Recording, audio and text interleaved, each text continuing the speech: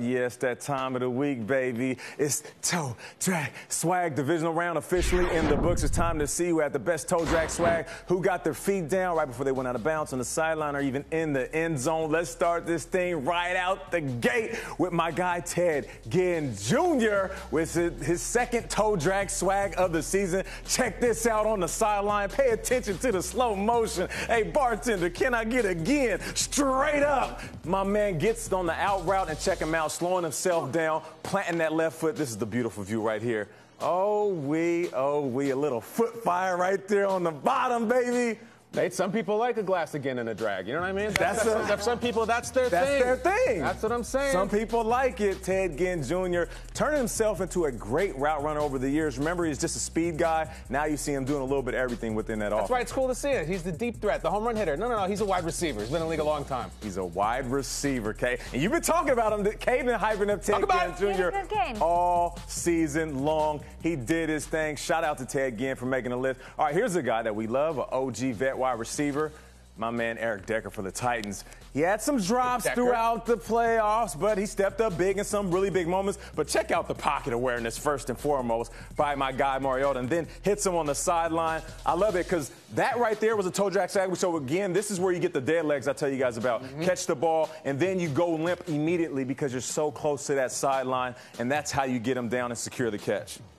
My man. That is beautiful. That's not his right first there. time in this segment either, Nate. It's not his first time. a couple time. times there. You better deck yourself before you deck wreck yourself. yourself. My man Eric Decker making the list. I can appreciate that, getting his hands underneath that rock, dragging those feet, getting the dead legs. And of course, it's always good when you do it on your own sideline. All right, here's a guy that did his thing, showed up big. We showed him in the highlights.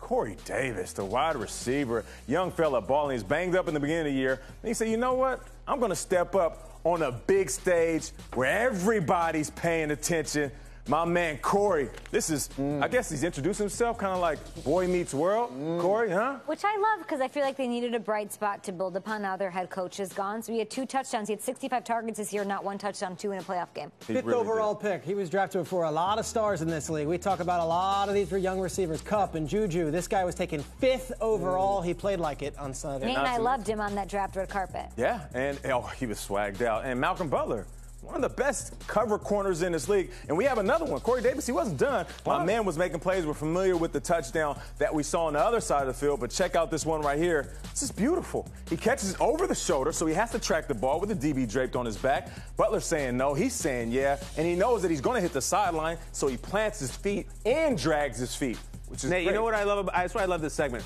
The Titans got hammered in this game. We've shown three straight Titans clips. Right. Not about the scoreboard. It's about the sideline. About the sideline. And the artistry. And this artistry, and what we love about this, this is the lasting memory for the Titans offense, but more importantly for a nice young play. wide receiver. So him like walking him. into next season, he's going to be more confident than he's ever been. All right, last but certainly Any from a least. team that played decently this weekend? Okay, all right, I got you. Hold on, hold on. this one right here, my phone was blowing this up. the Bears? And I saw it live, and I was like, this is going to be number one.